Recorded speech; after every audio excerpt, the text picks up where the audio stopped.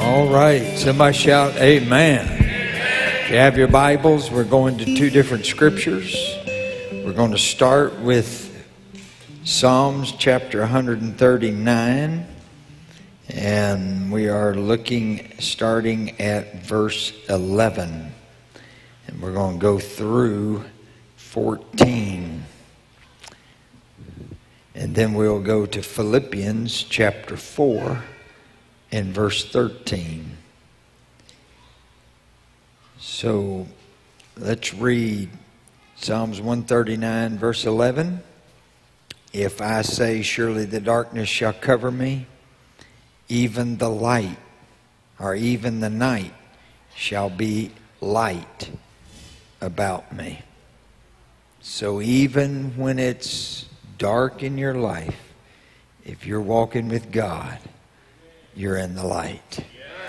Verse 12 Yea, the darkness hideth not from thee, but the night shineth as the day. The darkness and the light are both alike to thee. So there is no darkness in God. It's all light. God is light, the New Testament says. And then verse 13 For thou hast possessed my reins, thou hast covered me in my mother's womb. So from the time we were in the womb, before we were born, He has already covered us. He's there. Verse 14 I will praise thee, for I am fearfully and wonderfully made. Marvelous are thy works that my soul knoweth right well. So I want you to notice there's no darkness in God. God is light. And then I want you to notice that from the womb you have been covered. And you are fearfully and wonderfully made. And you are marvelous. I want you to say, I am marvelous. I am marvelous. Now say it like you really mean that. I am marvelous. Now let's go to Philippians and let's go to chapter 4 in verse 13.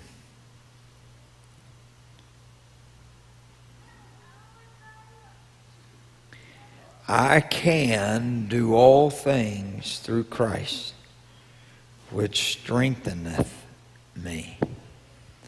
So I'm covered from the womb. There's no darkness in God, it's all light. And I'm marvelous. He, I'm His handiwork. It is the job of the devil to tear down what God has raised up. And so it's the enemy's job to make you feel unworthy, inferior, insecure, and I just can't get there. Nobody likes me. I'm ugly. I don't have any friends. I wish I looked like them. I wish I had their money. I wish, you know, watching the congregation, I could say things right now, but I better let it lie because I've got to preach. Thank you, Father. You are good to us. Lord, help us to realize that you are light and that you have covered us and that we are marvelous and that you strengthen us so we can do the mission that you've given to us. I give you glory and honor now in Jesus' name. And somebody shout, Amen. amen. All right, bless you. You may be seated. I do not think that the biggest problem in the church is that we feel more highly of ourselves than we should. Now, you're always going to have those that conceited, prideful, arrogant, and such. But the big majority of people in our world feel insecure. They feel like they don't measure up.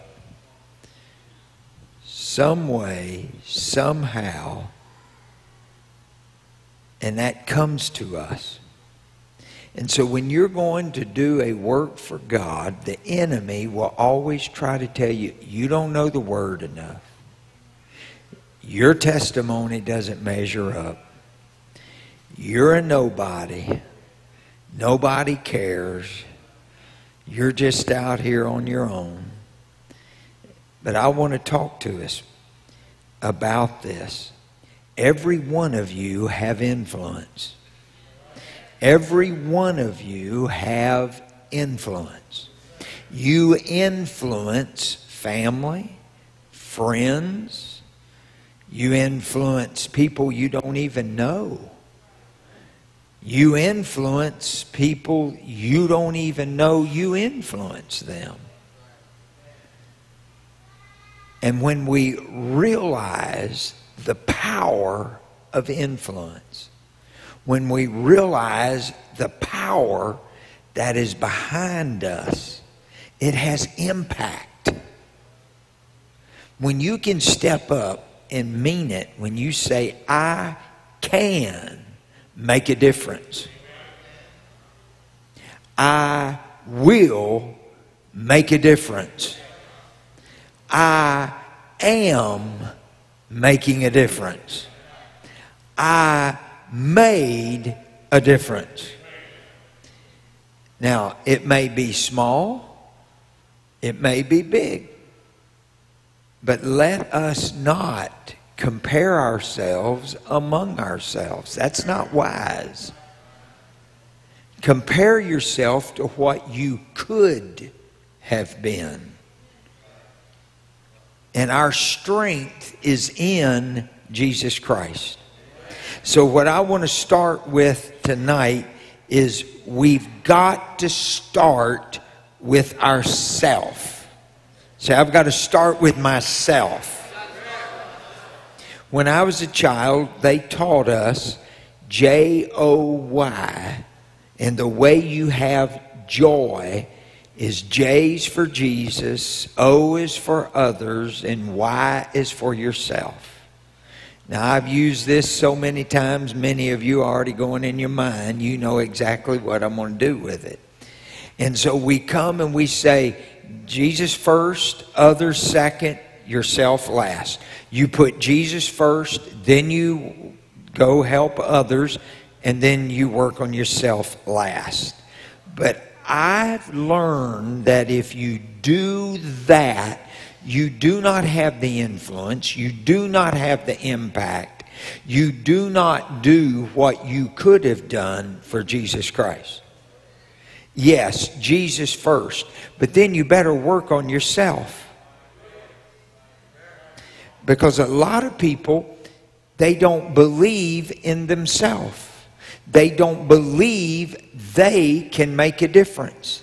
They don't believe they can have the influence or the impact. And so they, they're intimidated, they're inhibited, they draw back. And instead of saying, I can, they hide and say, I can't. Or they say, let someone else do it. Or I will just be quiet. That's why I'm saying we've got to start with ourselves. If you don't believe in God, and then if you don't believe in yourself, how is anybody else going to believe in you? You've got to have confidence in God And then you've got to have confidence in yourself. Then you can do something for God. But when you're intimidated, you're inhibited, you feel like others can do a better job, you feel like others, and, and so why do it? You got to realize if God put you there, God will empower you. Talking with somebody today, I told them the watchword is prepare. You've got to prepare yourself. You've got to be ready. The Bible says, study to show yourself approved. You've got to prepare. Somebody shout, prepare. So we've got to start with ourselves. We've got to make sure I'm a winner. How do we do that? Submit yourself, therefore, to God, resist the devil, and he will flee from you. Seek ye first the kingdom of God and his righteousness, and he's going to give this other, he'll add this other to you. So we put God first. And then we say, okay, God, you are going to empower me. I can do all things through Christ. I'm putting God first. You're going to add to me. I'm putting God first. The enemy's on the run and he is fleeing, and I'm going to have the victory. Hallelujah. You got to start with yourself. Somebody shout, I can. Say, I can. Say. Yes, I can. I can. So it's not that you are prideful. It's not that you are selfish. No, that's not what I'm talking about in a relationship, in a marriage, in a business relationship, friends relationship, family relationship, you are not being prideful and arrogant and selfish. That's not what I'm talking about. I'm talking about believing in yourself as you trust God. You put God first, you submit to God. In fact, the first moments of the day, the first minutes of my day, I spend talking to Him. I want to talk to Him. I want to be in His Word. I want to talk to Him. Let Him talk to me. And I am trusting Him. And then I'm asking Him to empower me to go through this day to show me, to guide me, to be with me. And that's what we're saying. Hallelujah. So I want you to start with yourself. Again, say, I can do all things through Christ because He is my strength. With Him there is no darkness. So if I find myself in darkness, I need to go turn the light on. I need to go to Jesus. You got to turn your faith on. You don't listen to doubt. You don't listen to unbelief. You don't listen to the gossip. You trust God. You walk with God. You're not following your flesh. You're not following your feelings. You're letting faith lead the way. Not feelings, but faith. Somebody shout faith. That's why you've got to start with yourself. If you're going to have influence, if you're going to have the impact, you've got to, as you trust God, believe in yourself. I'm not worried about people feeling uh, arrogant and prideful. There's enough wet blankets to bring that down. There's enough pins around to pop our balloons. There's enough. I, am wanting to build people up. People are intimidated to pray out loud. I was in a prayer meeting this week. I was teaching leadership in a church, and, and before the leadership meeting, they had a prayer meeting. And so there was probably 70 to 80 people in that prayer meeting. And they're praying. And it was very quiet. And the pastor come in and he said, Oh, Brother Foster, I can't stand this. They're quiet. I said, dude, I've walked around. They're praying. He said, if I'm not hearing them, then they're not praying. And I said, Are you God?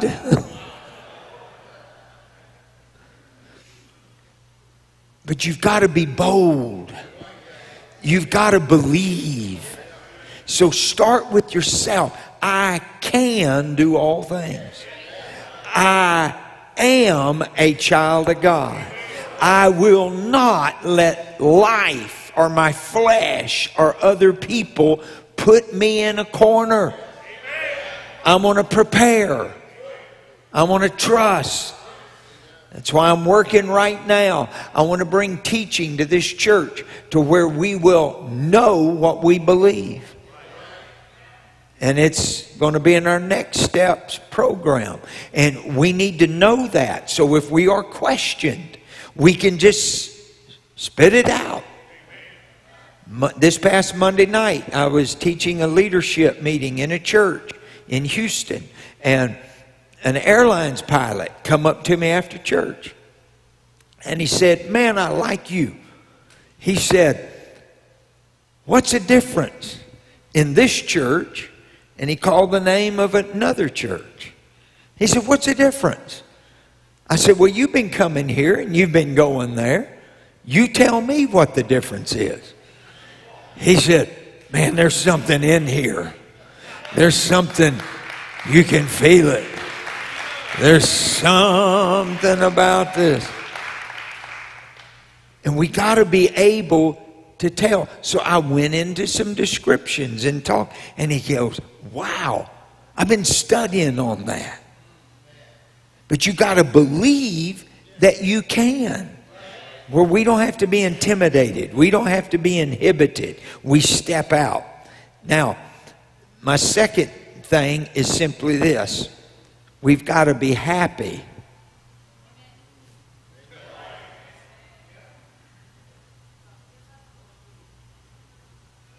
I'm looking. I have met a lot of unhappy people in the church their doubts, their unbeliefs, their frustrations, their anxieties, their inability to get along, and for whatever reason. But we've got to be happy. And Paul said, I think myself happy. So, what we have to do is eliminate our negative emotions. How do you get rid of that? Here's how you do it you understand what it means to be happy. Roses are red, violets are blue. My disposition does not depend on you. If you're going to have your happiness depend on how people treat you, how people talk about you, you're in for problems. Because guess what? Not everybody's going to get along with you. And so it used to be that if we could just get rid of depression and stress and anxiety, then we can be happy. But I want to tell you, you're going to have stress. You're going to have tension. You're going to have pressure. And if you're looking to live a life that doesn't have stress and doesn't have tension and there is no pressure and nothing that would want you to be depressed and that sort of thing. What you've got to do, you're going to have trouble. Things are going to come. You're going to have losses. You're going to have struggles. You're going to have problems. You're going to be down. But what you've got to do is understand where happiness comes from. There's more to health than just not being sick. How many people you know are not sick, but they're not healthy? They're not sick, but they're not healthy. They're not happy. Emotional health, health is more than the absence of dysfunctional emotions. So, what we have got to do is make up in our mind I'm going to get right with God, and whatever comes my way, I'm walking with Him. I'm trusting Him. I'm believing in Him. Greater is He that's in me than He that's in the world. And so I will have pressures. I will have stress. Things are not always going to go my way. Somebody may crash into my car. I may have a horse that has COPD. I didn't know there could be such a thing, but I got one. She's going back to the doctor this week. And he's going to give her some more shots. And I've prayed for her. I don't know why, but she gets better at the doctor. Come on, somebody. But I'm not going to get distressed. I'm not going to get eat up with woe is me. And if somebody doesn't sing my song and somebody doesn't,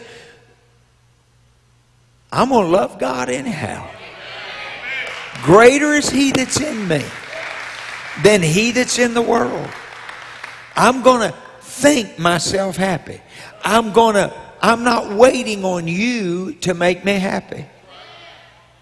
If she burns the toast,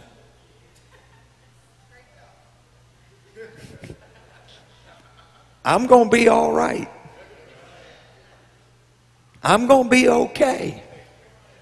But I have to keep checking myself. The Bible says, be angry, but sin not. You know what I've started doing?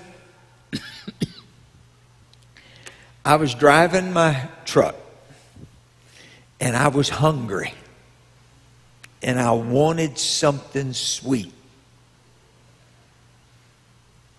And this was last week. She had gone to Louisiana to pick her mama up. So I knew she wouldn't be home. And I'm just driving, and I had the thought, you know, I haven't had Krispy Kreme donuts in a while. She's not home. And then my spiritual side said, You better not. And my flesh side said, Oh, but wouldn't they taste good? And the spiritual side said, You better leave it alone. And the carnal side said, Oh, that light's going to be on. And they're going to be hot. and you know what that tastes like. And next thing I know, I look over there you know, I had to drive out of my way just to see if that light was on. And that light was on. And the next thing I knew, that truck had a mind of its own. And I'm trying to fight that steering wheel. You don't, and it just turned, it overwhelmed me. And next thing I knew, I'm driving away and I got half a dozen of original glazed Krispy Kreme donuts. And I said, Nope, I'm not going to eat them. I'm going to take them. I'm going to go home. Uh, she left me some spaghetti and I'm going to eat that. And then I'm going to take my time tonight. And uh, she's not coming back till tomorrow. And uh, oh, it's going to be so good. And they're sitting right there in that box, right there on the bar, right beside where I'm sitting. And lo and behold, I heard that back door open up. And I knew Hayden was working. One of Dallas' finest. He was on patrol. So I knew it wasn't him. And I'm wondering, well, who is that just walking in my door? The door opened and the dogs ran in, but no one come in. So I got up and I walked. I left them laying right there. Mind you, I haven't had a bite of one of them. And I walk out, and lo and behold, there's my wife. And she's brought her mama back a day early. Oh, how are you? Good to see you. And I'm not even thinking about what's laying on the bar. And she comes in and, oh, she's in a hurry and she's got this and that. And then she's back out getting her mama, helping her into that uh, motorized wheelchair. And she's back in. And I come in and I look and it's right there in front of God and everybody. My sin. Krispy Kreme donuts. And I haven't got one bite of them yet. And I go, why did she come home? Oh, she's ruined it. And she said, What did you say?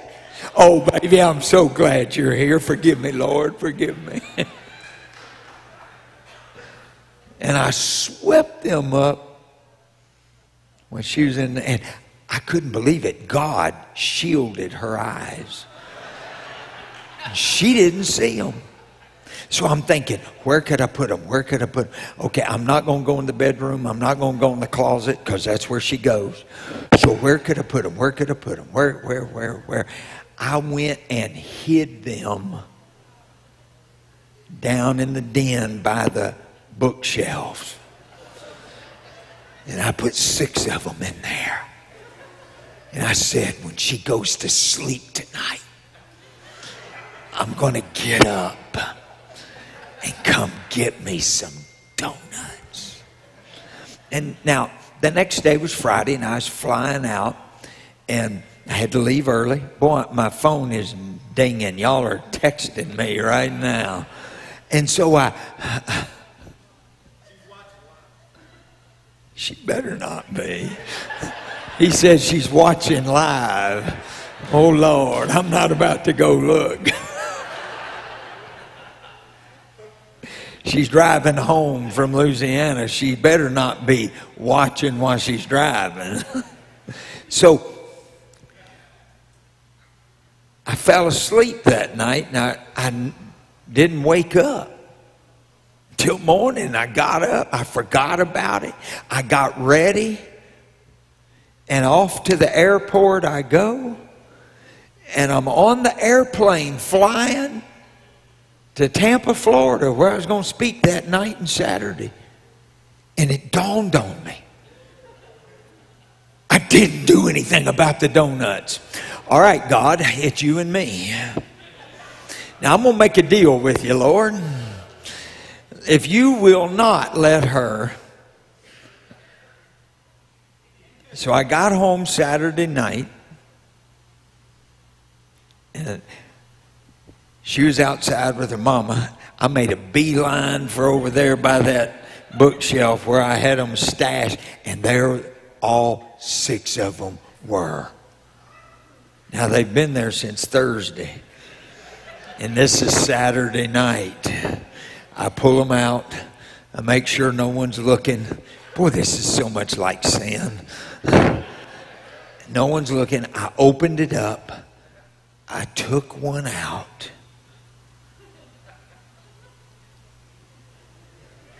I ate it. It's been there over two days now. Oh, it was good. It wasn't hot. It wasn't as good as it could have been. And uh, I thought, okay, I can't leave it here. I, I, I can't go out and throw it away because she's there. So I got to stash it. So I found me another hiding place. And I'm not going to tell you where it is just in case she's watching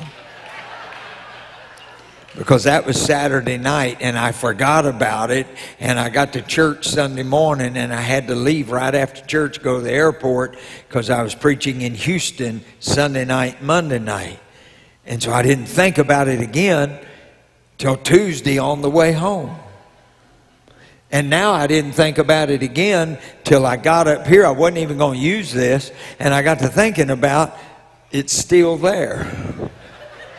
Now I'm not wanting to eat them, I'm just wanting to destroy them before she finds out. And I'm pressing my luck. Why am I even telling this story? Because I'm talking about you got to be happy.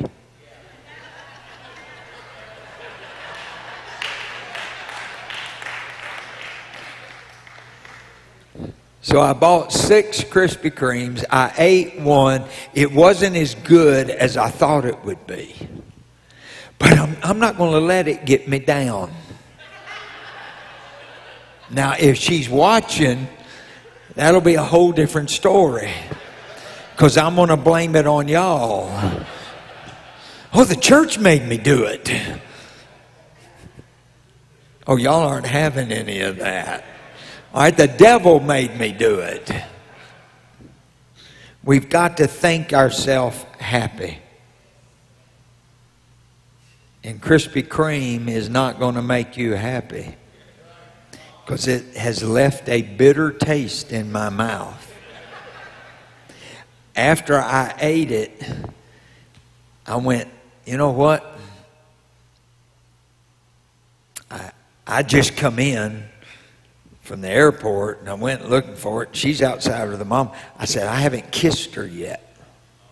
And I ate that sugar. Boy, my, I'm going to have to turn this phone off. It's dinging like crazy up here. Who's texting me? She is? Who said that?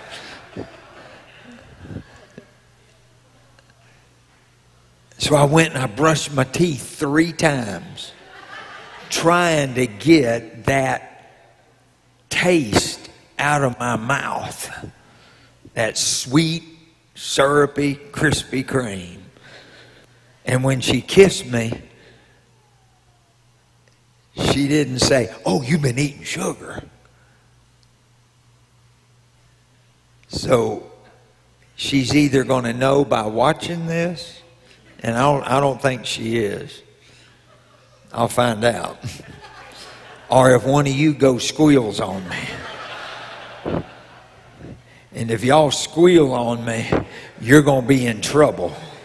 Because I'm going to pray that a thousand camel fleas will inflict your underarm pit. I'm serious. I don't need her to know. Lord have mercy. She walked by me, was it last week or two weeks ago, and she poked me in the belly and she said, Santa Claus is coming early.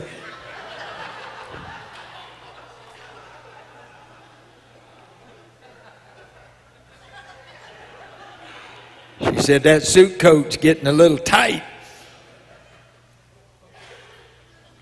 No, it's not.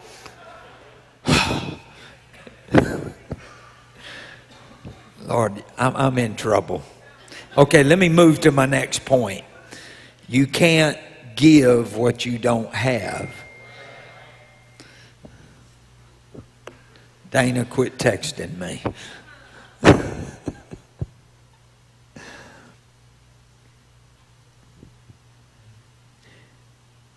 What we have to do is realize we will never go or we'll never get anybody to go any further than what we have gone ourselves. So if we want others to go with us, we've got to go. Harvey Firestone said this you get the best out of others when you give the best of yourself. But if the best you have isn't any better than what those others already possess, you'll never get them to go any further. That's why I've got to be better. That's why I'm preaching myself under conviction with the Krispy Kreme donut story. Or at least I think I am. So we have got to make up in our mind, we as a church, if we're going to impact our world, then we've got to be right with God. You start with yourself. You've got to be happy because you can't give what you don't have. So you've got to make up in your mind that my influence is going to be good and not bad. That I am going to be healthy in my influence. Why? Because I am fearfully and wonderfully made. I am a child of God. I got royal blood. I mean, my father owns all the cattle on a thousand hills. If heaven is his throne and earth is his footstool, that's my daddy. That's my father. So I'm trusting in him. I can be better than what I am. So I'm trusting in him. I'm believing in him. Quit beating yourself up and saying, I'm a nobody. I can't make it. I can't get there. What you've got to do is prepare and start with yourself. I'm going to put God first, and then I'm going to believe in myself. And as I trust God, I'm trusting myself, I am preparing myself. Now I can go and help other people. I'm just being open and honest with you. When I first came to pastor, I had never pastored before. I was a kid. I was only 28 years old. I was intimidated. But I said, I'm not in over my head because I'm going to prepare. I'm going to get ready. It's just like the Englishman that climbed Mount Everest. His first time up, he failed. But he looked at Everest and said, You can't get any bigger, but I can. And I'm going to learn. And I'm going to get better. And on his next trip, he and Tenzing, they got there. And in the 50s, they conquered Everest. It was tough. Now, how many do it every year? In fact, they say so many people are climbing Everest every year that there is trash on the mountain that's frozen in place. And there it is old tents, junk, they've garbage they've thrown out and such. And ever so often they try to go back and clean it up. But a lot of it is frozen. It's in the ice. There's no thawing. And so there it is. Everest couldn't get any bigger, but he did. This is what you need to be looking at your life and saying, You can't get any better, but I can. I'm going to study to show myself approved. I am fearfully and wonderfully made. God made me. There's no darkness in him. And so my if it's dark here, I'm going to go turn the light on. How fast does darkness flee? As fast as the speed of light. Light travels at 186,000 miles per second.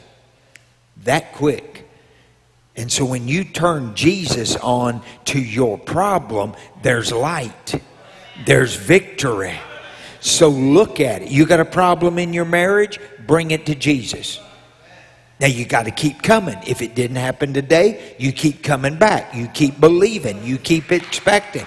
And if there's problems in, in relationships, you got then just keep coming. If, if it's in your health, keep believing. Keep preparing. Do what the doctor says. Go along. There's nothing wrong with that. Am I am, am, am I making sense? Come on. Hallelujah. Now, don't pass up every gas station on the highway. And then when that little light comes on, and you go, Oh God, oh God, oh God, help me right now. Lord, Lord, help me. Oh Jesus, Jesus, Jesus, Jesus. Oh God, do it again. You turn water into wine. God, put gas in this gas tank right now. I'm believing you right now, right now. What about all the gas stations you passed up? Hello? If you got out of bed this morning and you didn't make the bed up, don't ask God to go make the bed up. Okay, God, I need a miracle. I need the bed made. No, there's some things you just got to do yourself. You've got to prepare. You've got to be ready. You've got to put it in there saying, God, I am going to be there. See, it all comes down to one thing, and that one thing is how much value are you? What kind of value do you have? How do you value yourself? Are you valuable? If you keep saying, oh, I'm nothing, oh, I could never do that, oh, I'm not, you're valuable to somebody. And you better start with yourself. God is in me. God is for me. God is with me. And so I am going to look at my value. Hallelujah. Man, does anybody have any folding money on them? I had some, but I had to give it away before I got here. All right, here he comes, right here. Just, I don't know, Okay. All right, here's two $20 bills. Does anybody want this?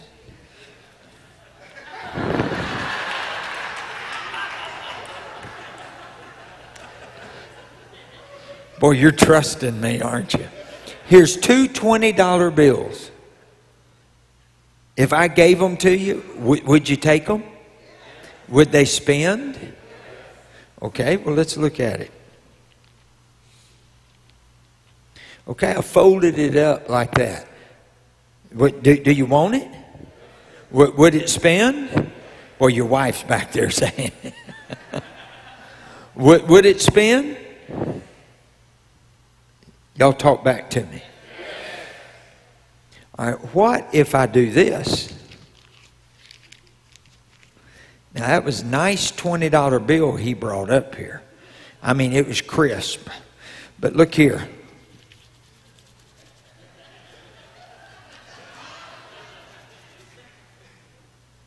There it is. Anybody want it? Would it still spin? All right, now let's look at it. It's not that crisp dollar bill. I'm trying to do this without tearing your money. Now it's all wrinkled up. Is it, is it still valuable? You still want it?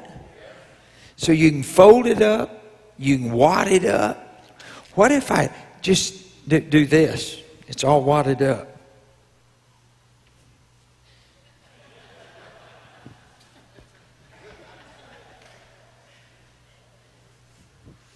Boy, look at that. That's flat. You still want it? Does it still have value? How come you don't treat yourself like you treat that $20 bill? You get folded up by life. You get all wadded up, and pressed down by life. You get stepped on.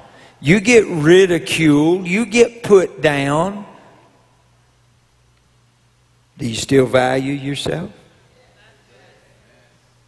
Oh, yeah, come on. Boy, he said this, she said that. Well, they do. Well, I'm just. You got to be like this $20 bill. Thank you, sir. I'm giving them back to you. It's still valuable. I'm telling you right now, you have value. You have value. You have been stepped on. You've been pushed down in the carpet. You've been beat up. You've been slapped. You've been folded up. You're all wrinkled up. I, life has not been easy, but you still have value.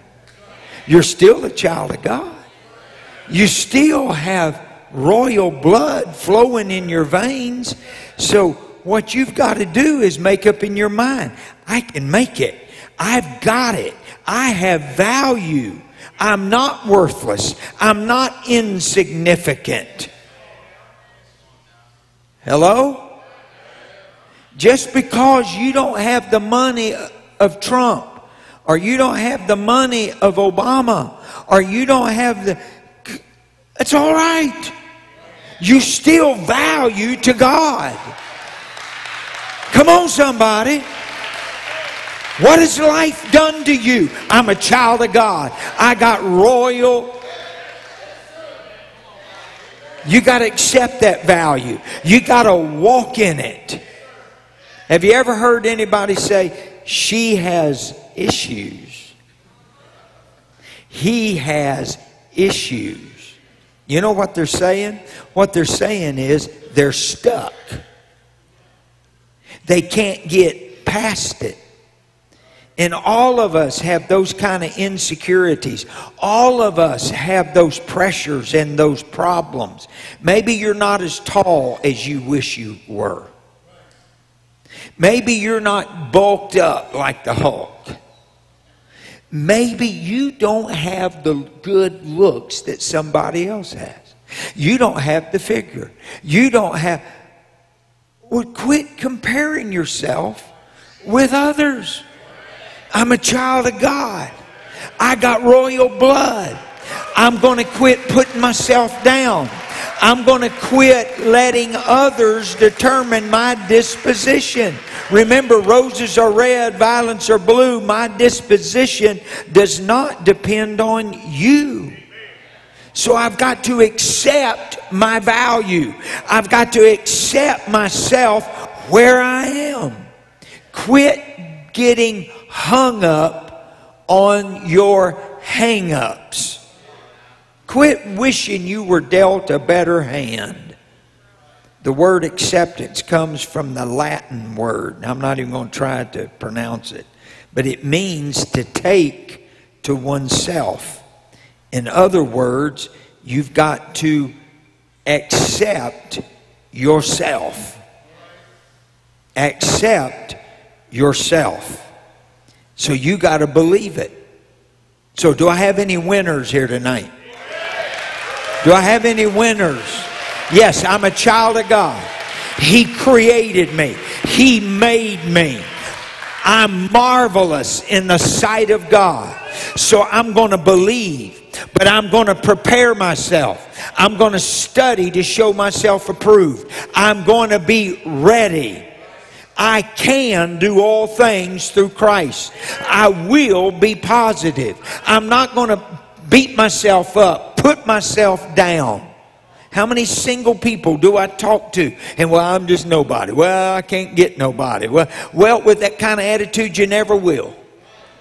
And then I talk to married couples and, well, why did I get stuck with him? I said, that's on you. Or why did I get stuck with her? That's on you. Uh, I've, I've had kids tell me, well, I wish I had their parents. But why do I have these parents? I remember when I was a 19 year old kid trying to help other kids, and they, they told me, Well, I didn't, I don't have parents like your parents. And I said, Well, you've got the same father I do. And they go, I don't know what you're talking. And I said, No, in Jesus Christ. We're all of the same family. So you got to get your mind off what you don't have. You got to get your mind off all this. It's telling you you're insignificant. You're a nobody. You got to shout, I'm a somebody because I belong to Jesus Christ. And so I'm going to quit talking myself down and I'm going to talk myself up and I'm going to walk in the light. Somebody shout yes. Say, I can do it. So increase your value. So once you recognize and accept your value, now you belong to Jesus Christ. Now, how do you increase your value? Start solving your problems. Easy as that. Solve your problems. Quit crying about them. Quit belly aching about them. Quit griping about them and solve it. Oh, well, I can't solve it. I don't have the know how. Well, that right there, you never will. But when you go to God and you say, Lord, help me now, whoo, something starts happening. When you say, okay, God, show me, direct me. Now, watch this. He may not bring it right then, but He will. Because sometimes we need to go through the struggle to prove to ourselves, I can make it. Come on now. Oh Lord, help me, Jesus. You know, I was talking to somebody today. I try to talk about my twin brother every day of my life. And so I was talking to him about my twin, and somehow it came up about my sickness that I went through in 2010, the colon cancer. And I told them the way I got through that was I couldn't do it myself. God was going to have to help me, and my doctors were going to help me, but I was going to believe. And I'm going to be all right. And it, it's going, God, you're not through with me. We're going to make it. And wow, I mean, Dr. Carrizales, they got me all that go juice that first night at the hospital. And next thing I knew, my pain was gone. And I'm all right. and I'm just kind of floating around. What are y'all talking about? And they're talking about what all they're going to do. But down deep inside, I was thinking, I'm going to get through this. I'm going to make it. There was convalescent time. I probably came back quicker than I should have and had some complications. That was on me. But here, but here I am. It's been eight and a half years. I'm still going. I'm still ticking. Come on, somebody. How many times that old slewfoot would come back, I'd have a little pain. Oh, I'm hurting. I remember I was on trail ride. Brother Shambo, you were there. Y'all had to take me to the emergency room. And uh, I, I, thought I was having the same old pains all over again. Boy, here it is. I can't believe it. Now it, it's come back on me. And uh, all night long. And, and so the next day, I said, I'm not going to the hospital. And they fooled me. We got in the truck to go saddle the horses. And they took me to the hospital instead of, and next thing I know, I'm walking in, and so we spent the day there and come out, I was having muscle spasms.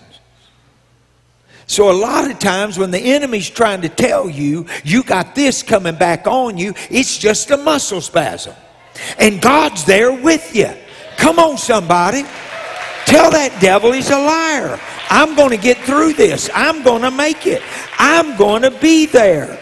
Come on, you struggle with it. You got to make up in your mind. Maybe you struggle with a hairline temper. Don't raise your hand if you do. Anybody here have that kind of temper? Don't raise your hand. Boy, you just get mad real quick. Well, what you've got to do is start setting boundaries. And then you say, God, help me, convict me, warn me, speak to me when I'm getting close to that boundary. And God will do that. He will do it. I've asked God, I said, God, you've got to help me. Now, when I'm getting to that point, you stop me. You should, and He will. He will. Maybe you're lazy. Well, you need to set boundaries. Okay, I'm not going to waste time doing this, that, or whatever until I've accomplished X amount today. And so then you set that up and then you set that boundary. Am, am I making sense? And all this while, you're adding value to your life. Hello? This is how you overcome. And so you pray and you read the Bible and you look in the Bible to find scripture that's going to back it up. I'm amazed at how many people say I'm a child of God, but they never spend time in the Word of God. Or y'all getting quiet on me now. Come on now. We all have those hurdles that we have to overcome. In my reading, I found that 55% of Americans feel like they have things they need to overcome. Maybe it's a bad habit. The truth is, you can change. You can overcome that bad habit. You can increase your value. You can make it. You just got to make up in your mind, I can do it. You've all heard the illustration of the elephant, where they take a baby elephant and they put a chain around his leg, and then they secure that chain into the earth. And that little baby elephant will pull and pull and pull and can't get loose until finally he just gives in and he just stops. And years later, it's a big bull elephant, couple of tons. It's huge. And they just put a chain around his foot and then just tap that stake into the ground, put the chain to it. The elephant could pull it up if he wanted to, but he doesn't. Because in his mind, he believes I can't do that. I went back and read this book by James Belasco. It's called Teaching the Elephants to Dance.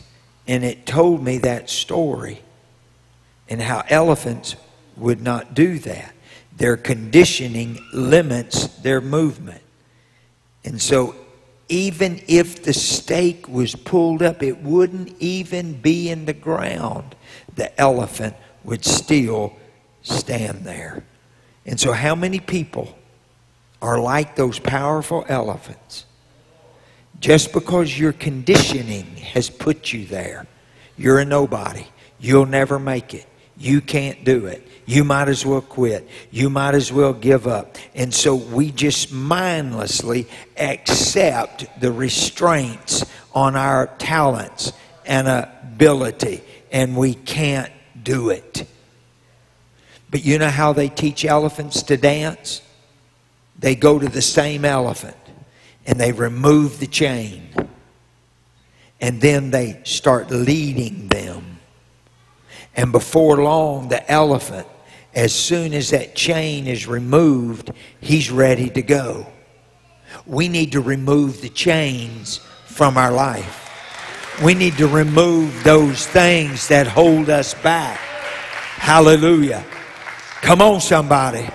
Hallelujah. I'm telling you right now, Sister Megan and the Yates, they're going to foreign countries and they're going for several months. They got to raise the money and their flesh and you know getting close and where's the money coming from and how's that going to happen? Hang on work believe prepare yourself but watch what god's going to do. I'm telling somebody in here right now you can make it. I watched Sister Megan in Austria.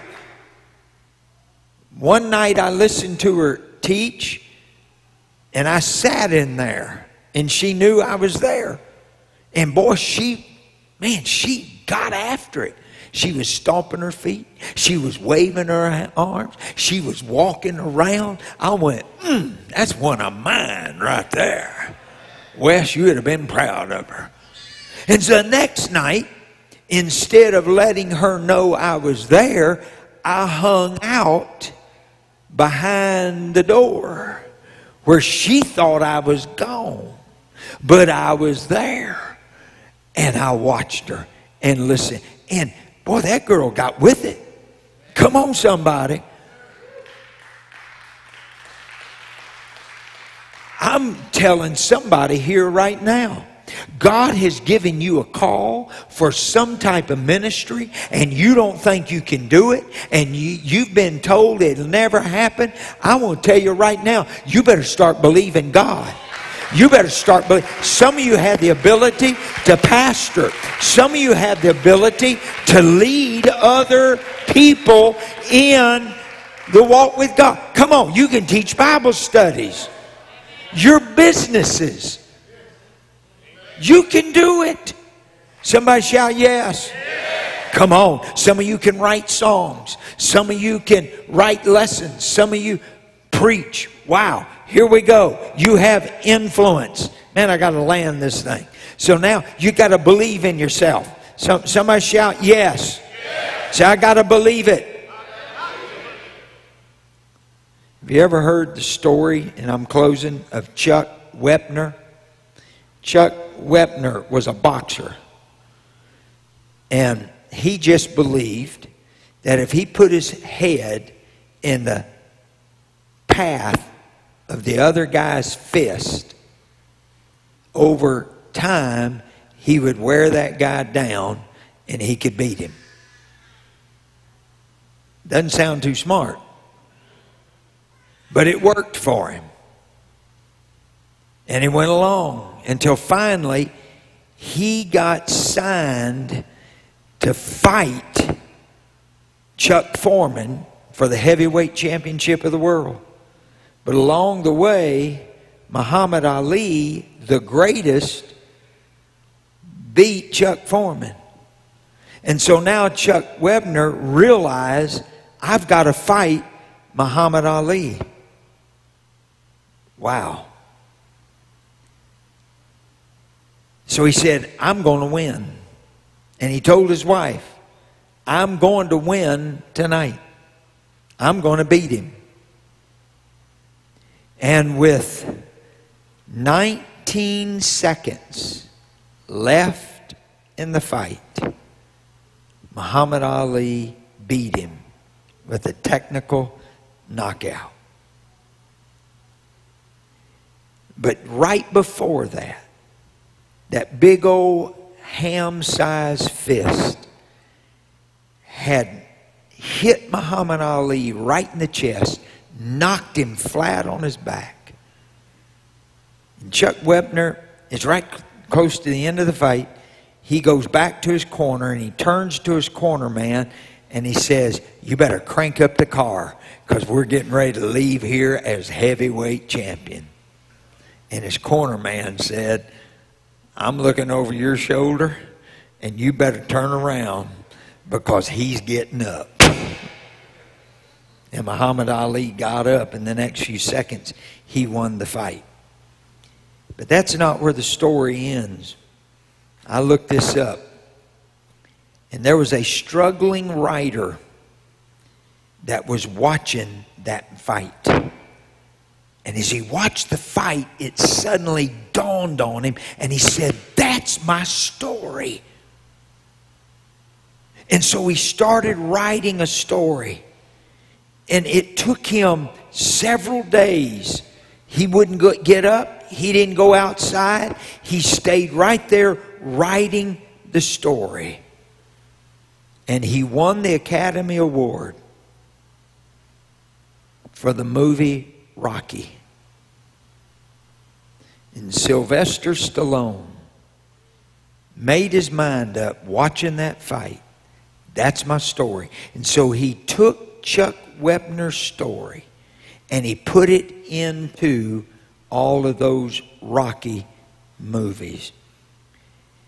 Sylvester Stallone, instead of the $400,000 payday for his script, he said, No, I'll just take the minimum wage of $340 a week, but I'm playing the title role. And so he did. The studio had to call Chuck Wepner and offer him a deal because the story was based on his life. They said, We'll give you a flat fee of $70,000 or 1% of the movie's gross profits. Wepner said, I want the guaranteed $70,000.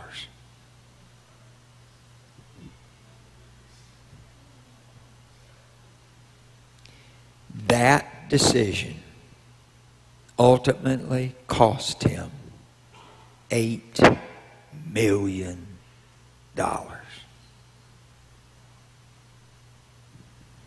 But that's how a lot of us are.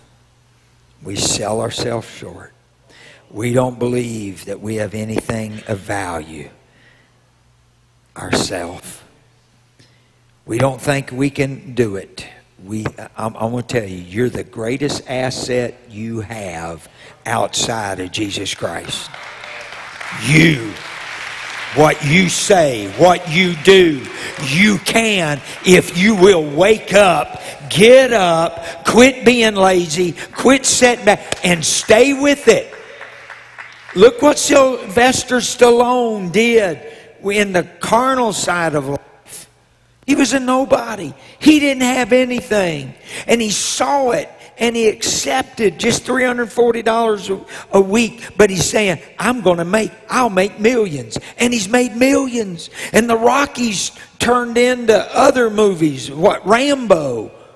And each one of them were several, and they led to other contracts. And what happened to Chuck Wepner? Poor old Chuck. He become a liquor salesman. And that's what happened to him. Didn't make hardly anything. I'm here to tell you, you better start believing in God and believe in yourself. Somebody shout, I believe God and I believe in myself. Well, you got to love God, you got to love yourself, and you've got to love others. Now, you're not being prideful and arrogant and stuck up. No, you're believing in yourself.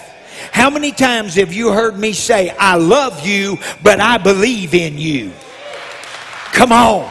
Wife, you need to tell your husband, I love you, but I believe in you. Husband, you need to tell your wife, I love you, but I believe in you. You need to tell your children, I love you and I believe in you. Come on, you need to look in the mirror. Hey, I love God, but I believe in you. You can do great things. You can be somebody. You can be successful. You can be blessed by God because I can do all things through Christ whom strengtheneth me. I am fearfully and wonderfully made. Marvelous are the works of God. You say, but preacher, I'm on the backside of nowhere. You don't, it's not a sin to be on the backside of nowhere. It's a sin to stay there. What you've got to do is roll up your sleeves and say, I can. Woo! Somebody shout, yeah. Let's stand together. Hallelujah. Father, I come to you right now. I am so grateful that you are our great benefactor. Lord, you took the cross and you've showed us the way that if we will pick up our cross and follow you and walk after you and trust you and believe that you are in us, making us, Lord, we can do what you have called us to do. Bless this church right now in Jesus' name. What kind of mission has God called you to do? What kind of mission has, what kind of vision has God given you? You got to believe it. You got to expect it. You got to be able to reveal it to yourself so God then can use that to reveal it to the world. Hallelujah. Somebody shout yes. I believe there's a day coming when this church is going to be full up. But it's not going to happen until we start believing it. Hello? So I've been writing. And I'm going to get that book published. And I'm going to sell it everywhere.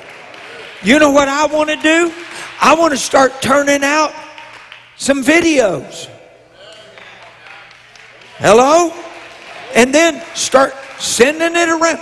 You know what I want? I talked to James today. He brought me an idea. He said, We need to bring our praise team and record some of our own songs we wrote and start sending it out. Who knows where it'll go? Hallelujah.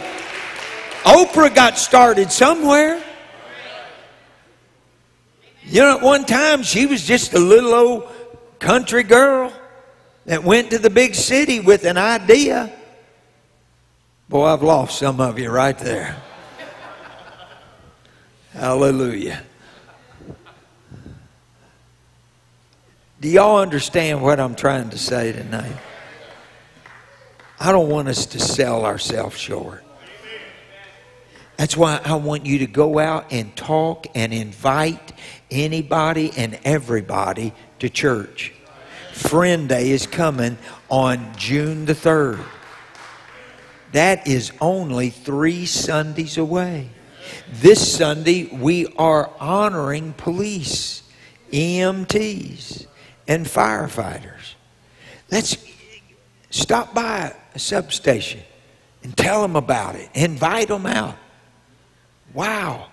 Let's do something. Hello? And this is going to be a special one because my son is now a Dallas police officer. One of Dallas' finest. Now, watch this. Just the way it all turns out, he's working Sunday. He won't be able to be here, but he's working. But, friend, that doesn't mean that I'm going to sit back and say, well, we can't do this. We got to do it when he can be here. We're going to honor police officers. His picture's going up on the screen. Hallelujah. He's standing back there right now, getting all embarrassed because I'm talking about him. Hallelujah. Come on, somebody. So let's bring people to church. Let's talk about it. Talk about how great God is. All right, I'm man. I, I got. Thank you, Lord. Bless our people here right now in Jesus' name. God bless you. I'm going to be down here at the front. Elders and ministers are going to be here. If you want prayer, come on. We'll be here. God, go with God. God bless you. See you Sunday. Bring people with you. Let's have a great time in Jesus.